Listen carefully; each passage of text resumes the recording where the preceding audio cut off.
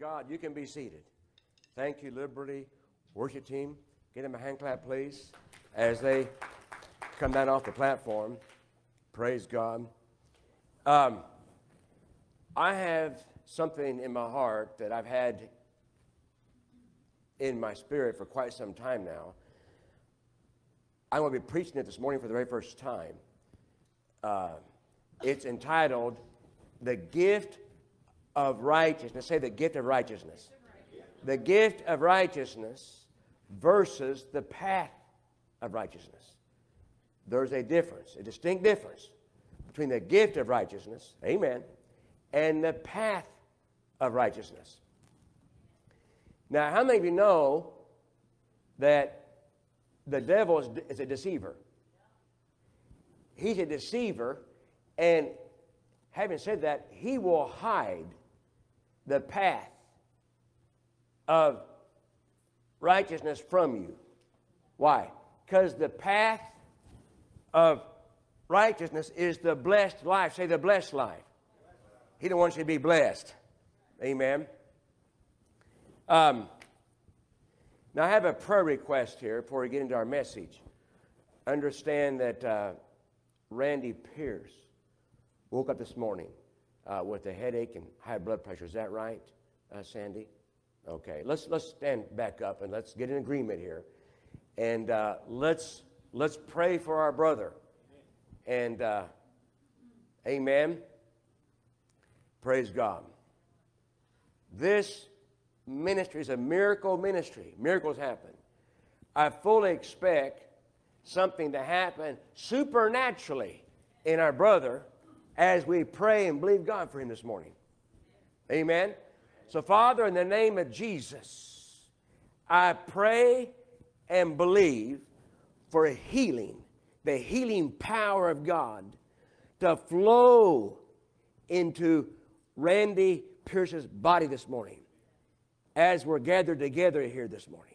In the name of Jesus, I rebuke the curse in Jesus' name. I break every generational curse in his life and ministry, and I command his blood pressure to return to normal in the name of Jesus. In the name of Jesus. And I command his headache to dissipate in the name of Jesus and for Randy Pierce to be healed from the top of his head to the tips of his toes in the name of Jesus. In the name of Jesus. Thank you, Lord. Thank you, Lord, that our brother is healed. Praise God. You can be seated. Um, last night, Yeah, I sometimes have dreams. And uh, last night I had a dream about our brother sitting back there. Um, I won't tell you his name, but his, but his initials are Tim Walk. I had a dream about our brother Tim, and I had to do a double take when I saw him in my dream because he was walking normal. See, his, his name is Tim Walk. If your last name is Walk, you ought to be walking normal. Huh? Now, he wasn't running, he was walking. But he was walking without any assistance. He was not using a walker. He was not sitting in a wheelchair. He was not using a cane. He was completely healed. And we had great fellowship together. So, brother, you just take that. I said, you take that in the name of Jesus. Amen. Hallelujah. I know Lisa yesterday, maybe I shouldn't share this, but I had the microphone turned on, so, and I'm the pastor, so I can share if I want to. So somebody say, Bless him, Lord.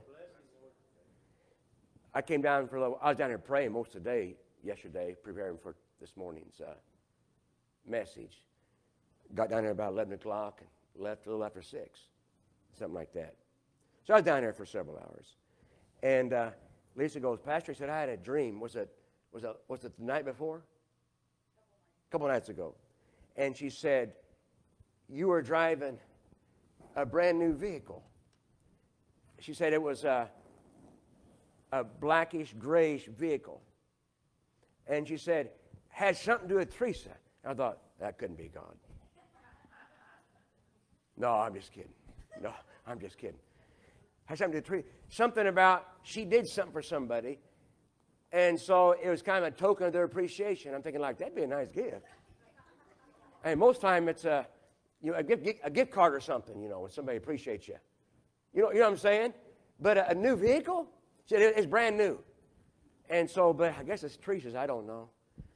But she loves her husband, so she'll let me drive it too. You know, I figured out a long time ago, you know, if you, how, many you, how, many, how many of you men are married? Now, you men that aren't married, you don't understand this. You men that are married, your wife says, hey, what's yours is mine, and what's mine is mine. That's, that's how it works. It's, it's, it, it, I mean, have you men figured that out yet? Huh? Have you men figured that out yet? Hallelujah. So, so I hope she'll let me drive it when it once it arrives. Huh? That be all right? Huh? That be all right? Praise God. Would you bring your Bibles this morning? Huh? Hold it up real high. And let's make our confession. Say this. Say, This is my Bible. I am what it says I am. I have what it says I have. I can do what it says I can do. This morning, I'll be taught the Word of God. I'll never be the same. My ears are open. My mind is alert. My heart is receptive. I'm about to receive the never changing, the ever living, the indestructible, the incorruptible seed of the Word of the living God. I'll never be the same. Never, never, never. I'll never be the same. In Jesus' mighty name. Somebody shout amen. amen. Let me be very careful. The word works. When you make that confession, believe it in your heart. If you believe in your heart, that means something supernatural happens in you every time you say it. I said every time you say it. Amen. Now let's pray. Father, we come before your word this morning in the name of the Lord Jesus Christ of Nazareth. And we're asking you this morning to give each one of us the spirit of wisdom and revelation of the Word of God. May the eyes of our understanding be enlightened. We may know the hope of His calling and enter into our glorious inheritance, which belongs to all the saints in Christ, and receive everything you have for us in the service this morning. And I want to thank you in advance for thinking through my mind, for speaking through my lips, to disclose, to unveil, to reveal the mystery of the gospel into our spirits. Thank you, Father. Hearts will be touched, lives will be changed, and the captives will be set free through your word as it goes forth under the anointing of the Holy Spirit in Jesus' mighty name. Everybody that agree with that said, Amen, amen. amen. Open your Bibles, please, to the book of Ephesians, chapter 2. The book of Ephesians, chapter 2. And we're discussing the gift of righteousness. Say the gift of righteousness. The gift of righteousness versus the path. The path. Say the path. The path of righteousness. Ephesians chapter 2, verse 8 says, For by grace are you saved. You see that in your Bible? By grace are you saved. What does the word grace mean? Grace means favor you do not deserve. Nobody deserves salvation. But Jesus did it for us anyway. Huh? You can be the ugliest rascal living on the face of the earth, and guess what? salvation is for you too. He died for you too. For by grace are you saved through faith. Say through faith. So, grace provides it, faith possesses it. In other words, grace provides it, faith receives it. For by grace are you saved through faith, not of yourselves. It is the gift of God. Now, a gift is something that's free. You don't got to pay for it. You don't got to earn it. You don't got to work for it. You don't got to work towards it. You don't have to attain it or achieve it. It's free. Not of works, lest any man should boast. See, if you could work for it, well, then you could brag about something you did. You can't brag about it. I mean, you might have prayed and prayed and prayed and prayed and prayed. And finally, the breakthrough came. You better brag on God, not brag on your prayer. Huh? It's still by grace, even though you prayed. Hello? Amen. It's still by grace, isn't it?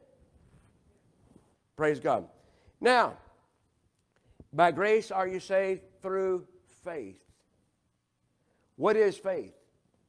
Hmm? What is faith? Faith is simply accepting what God said about you. That's all faith is. Accepting what the Word of God says. Salvation has been provided, but you got you have to accept it. Amen. Now let's go to uh, the book of Romans, the 12th chapter.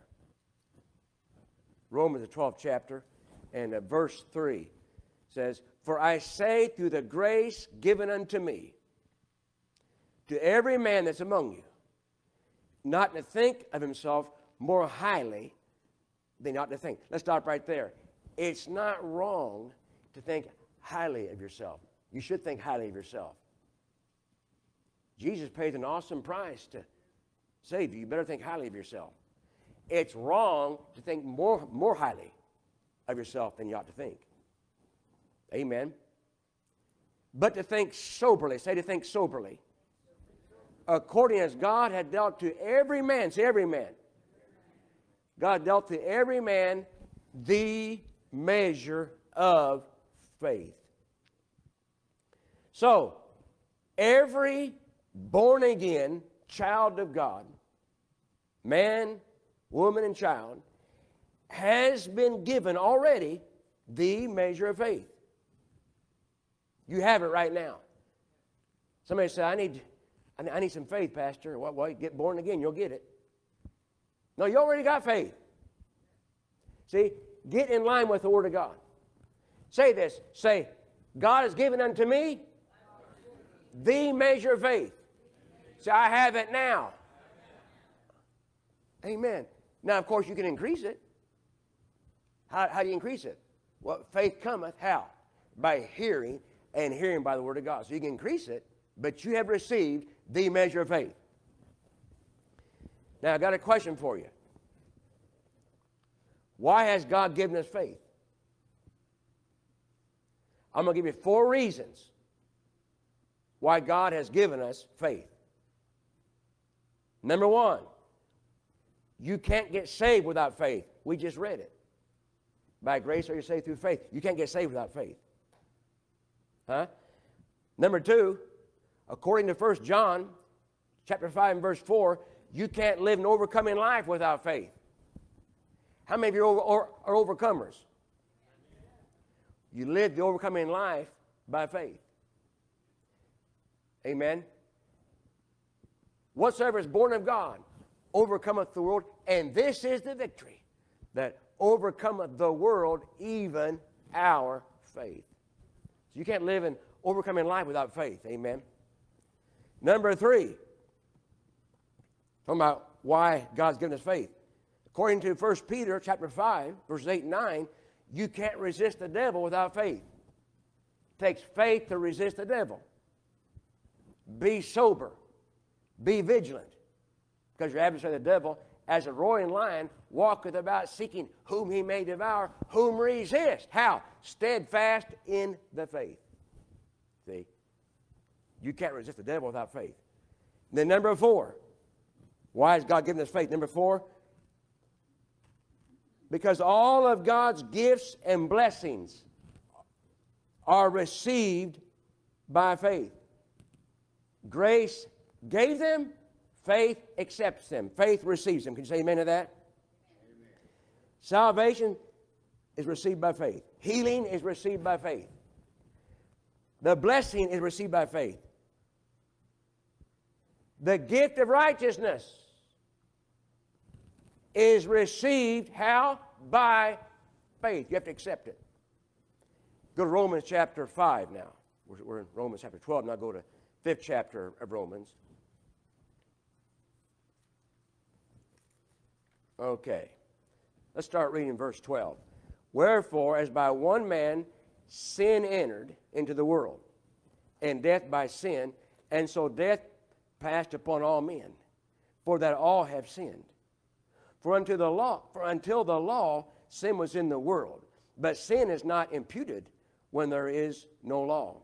Nevertheless, death reigned from Adam to Moses, even over them that had not sinned after the similitude of Adam's transgression, who is the figure of him that was to come.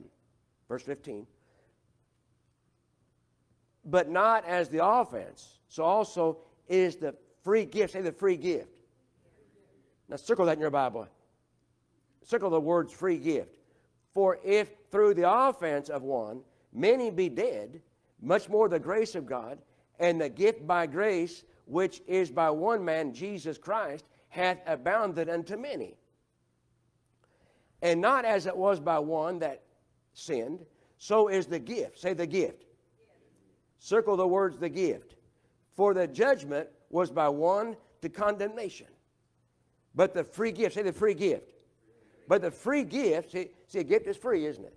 But the free gift is of many offenses unto justification.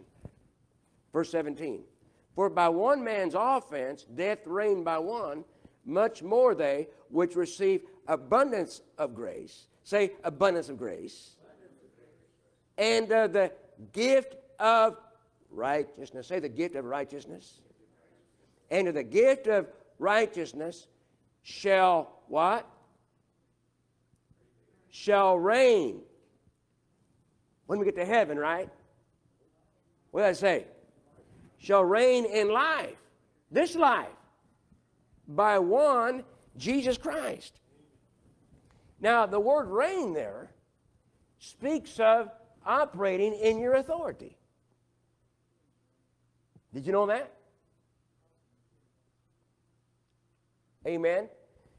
Now, when you got born again, when you made Jesus your Lord, God applied His righteousness to your spirit man. It's a free gift. You just have to accept it. You didn't earn it, didn't work for it, didn't work towards it, you didn't attain it, didn't achieve it. No, it's given to you. Well, now, you got to do something with it. Huh? How many know when you, when you get born again, you don't automatically reign in life? It's not, huh? Come on now. We have an enemy out there that's going to try to stop you and block your faith. Therefore, you have to do something.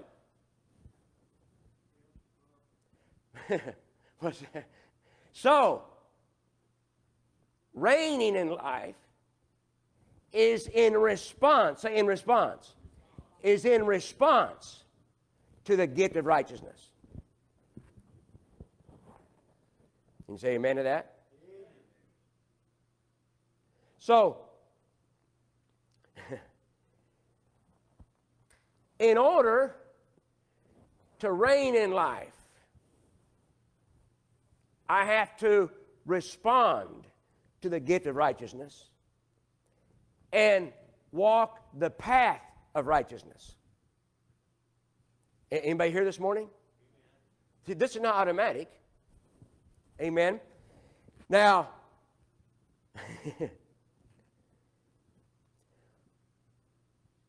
the enemy, when you got born again, has set traps for you to trip you up in your spiritual journey. He set traps for you. Okay? So the path of righteousness will lead you around those traps the enemy has set. Amen. The path of righteousness is a protection mechanism. It will protect your faith. It will protect your spiritual life. It will protect your health. It will protect your family. The path of righteousness okay, is not designed to put you in bondage. See, the enemy, he's a deceiver. He'll hide the path of righteousness from you to keep you off that path. Why? So he can defeat you.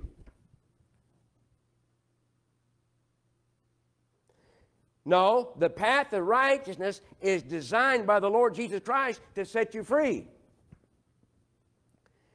The path of righteousness is not a religion, nor is it a restriction, it's a revelation. The path of righteousness will guard your heart and protect your faith. When you get off the path of righteousness, your faith is left unprotected. Well, the devil will hide the path of righteousness from you. Get you doing dumb things and stupid things. He doesn't, he, doesn't, he doesn't want you to walk the path of righteousness. But it's for your benefit. Amen? Praise God. Go to uh, Psalm 23.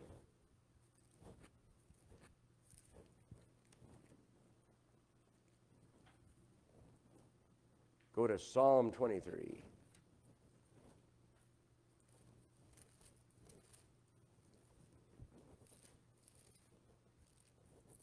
And uh, verse 1 says, The Lord is my shepherd.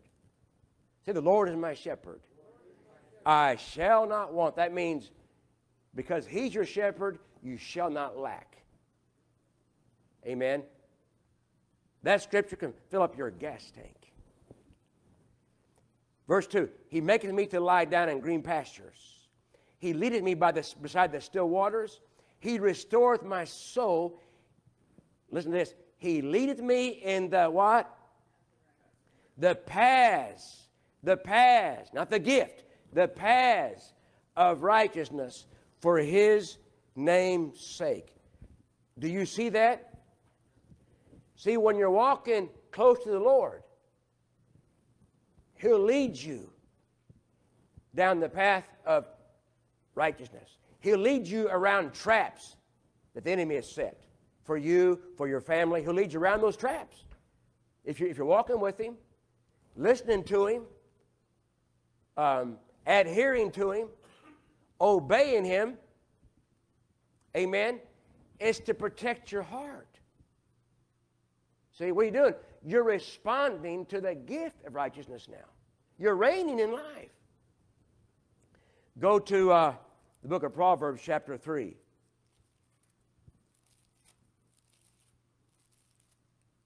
Proverbs chapter, I'm sorry, Proverbs chapter 4. Proverbs chapter 4. Now look at verse 23. It says, Keep thy heart. That means guard your heart. With all what? With all diligence. Say diligence. Guard your heart with all diligence, for out of it are the issues of life. Now, the word issues there in the Hebrew means forces. When you got born again, there were spiritual forces that were imparted to your spirit man. The force of faith. Faith is a force, it's, it's in here. Love is a force, it's, it's right down in here. Righteousness is a force, and it's right down here. Well, you're to guard your heart with all diligence. Why? So that these forces that are in you are free to flow out of you and affect your life, affect your circumstances, affect those around you in a positive way. Amen? But when you aren't diligent to watch what you say, to watch places that you go, to watch your, your conduct, your behavior. When you aren't diligent to, to do that, then you aren't guarding your heart. And his forces will be stifled in you. Amen.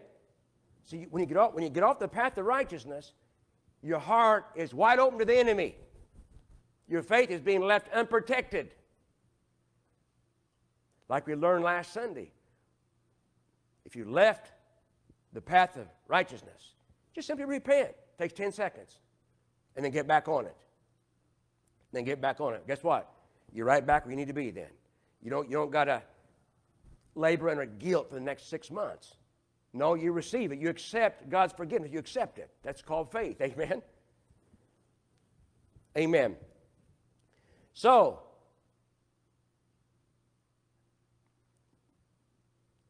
what is, what is the Spirit of God saying to us this, this morning? He's saying this to us.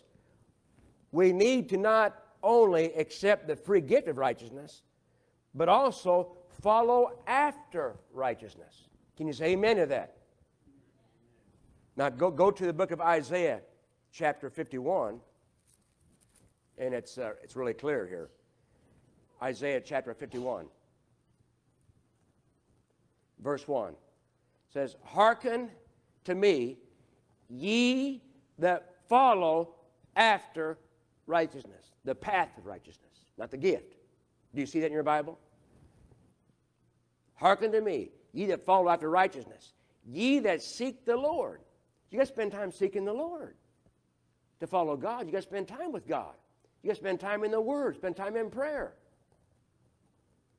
Ye that seek the Lord, look unto the rock whence ye are hewn, hewn, and to the hole of the pit whence ye are digged.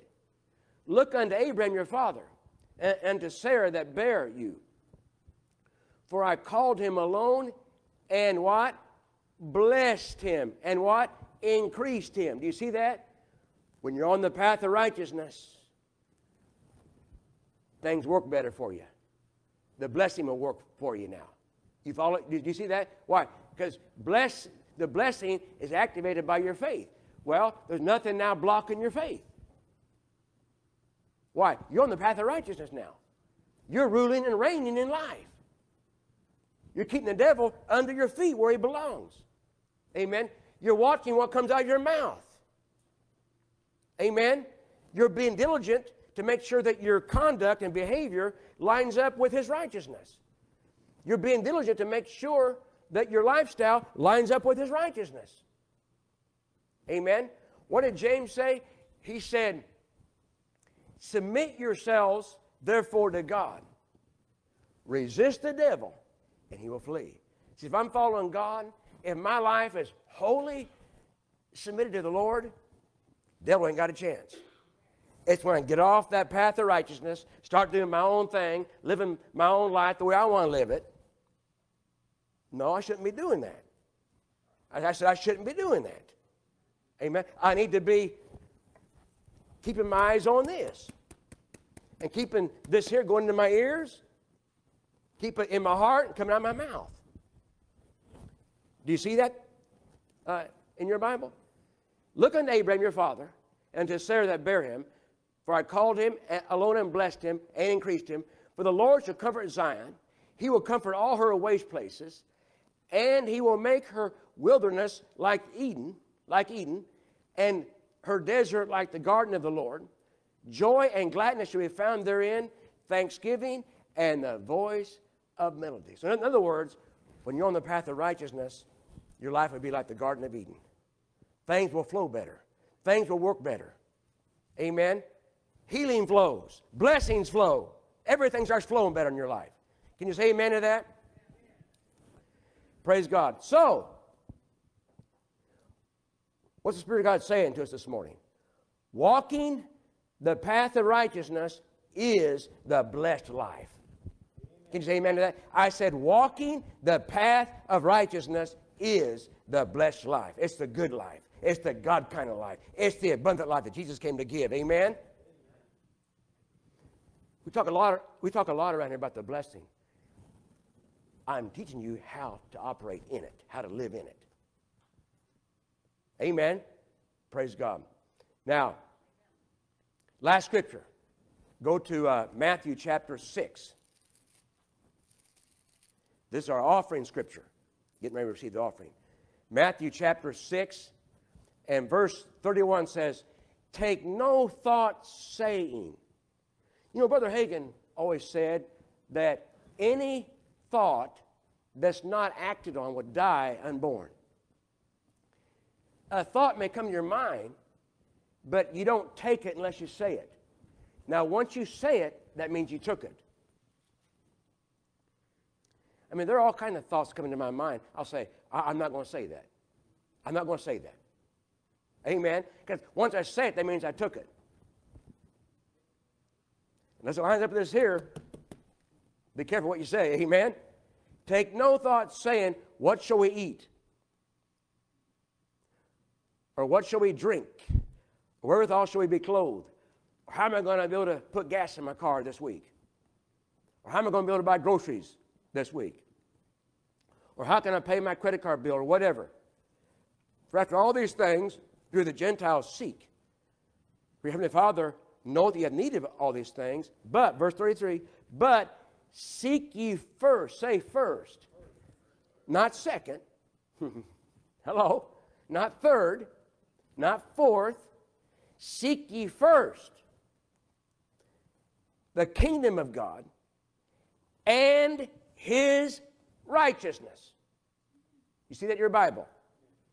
Then, what's hap- then what will happen? And all these things that you have need of, and that you desire even, that are consistent with a godly life, shall be added. Shall be added unto you. You see that in your Bible? Praise God. So what are we saying this morning? We're saying this that when God is in, when God is first placed in our lives, and we're seeking His kingdom, not just trying to squeeze the Word of God into our busy schedule, but planning our busy schedule around this right here, then everything's going to work out for me. Amen. That means I bring my words. Hello. Hello. My words, my actions, my priorities, my purposes in line with this right here. What's going to happen then? My faith's going to work better. The blessing's going to flow. People around me are going to be blessed too. And what comes out of me is going to affect those around me. Parents, what comes out of you is going to affect your household. Don't curse your children. Don't curse your home. Amen. Don't say something ugly about yourself or about your children. Always speak words of life so that the blessing can be activated and peace can flow in your home. Peace can flow in your life. You can change the atmosphere at your workplace by doing this stuff. Amen? People will want to be around you. I said, people will, will want to be around you. Amen? Notice again, but seek ye first the kingdom of God and his righteousness, and all these things shall be added unto you. That right there is the blessing. Now, I've got to put God first even in my finances. I don't pay my bills, and then what's left over, I give a little bit to God. No, I give what belongs to God first, then I pay my bills. Now, I couldn't preach this stuff if I didn't do it. We do it in this church. Rosha, who pays our bills here, knows that we pay the tithe before we pay the pastor. She knows that. If there's a choice between paying the pastor or paying our tithe, we're going to pay the tithe. That's what? Putting God first. Putting Him first in my finances and every area of my life. As you spend time seeking God, He'll show you and lead you down the path of righteousness. We just read that in Psalm chapter 23. Amen. He leads you around traps the enemy has set. Amen. And there are times where you don't really understand some things, but you know you're to. I know the other day, um, I don't answer my phone if I don't see a name come up, if I don't recognize that number. I, I never do. But the other day the phone rang, and uh, said, "I know a number." I knew I was to answer it.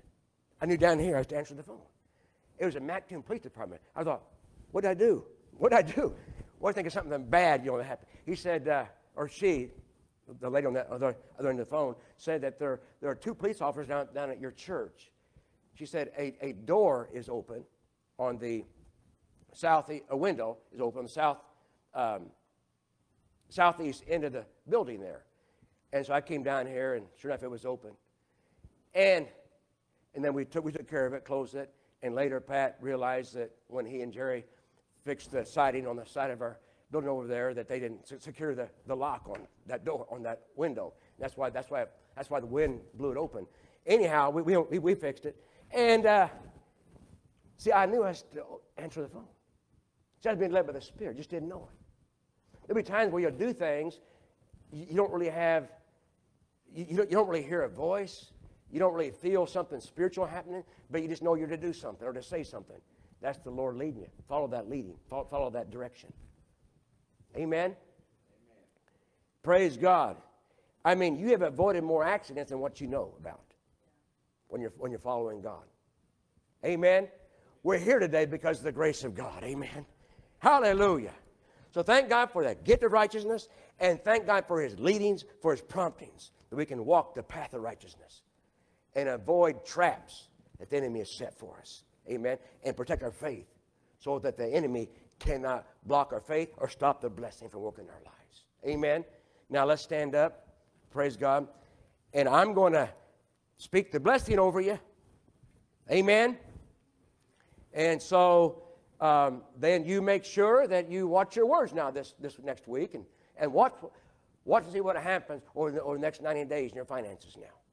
If you'll, if you'll, if you'll watch what you say and um, bring your conduct and behavior in line with the Word of God, just watch and see what happens in your finances over the next 90 days. Amen.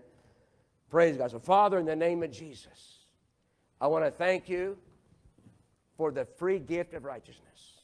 Hallelujah. And for the leadings of the Holy Spirit to put us on the path of righteousness, to lead us around traps the enemy has set, and to guard our hearts and protect our faith so that the blessing can work in our lives. And so, in the name of Jesus, I declare and I decree every family represented here this morning blessed of the Lord, blessed in the name of Jesus. I say to them, in Jesus' name, the Lord bless you and keep you. The Lord make his face to shine upon you and be gracious unto you. The Lord lift up his countenance upon you and give you peace in Jesus' name. In Jesus' name.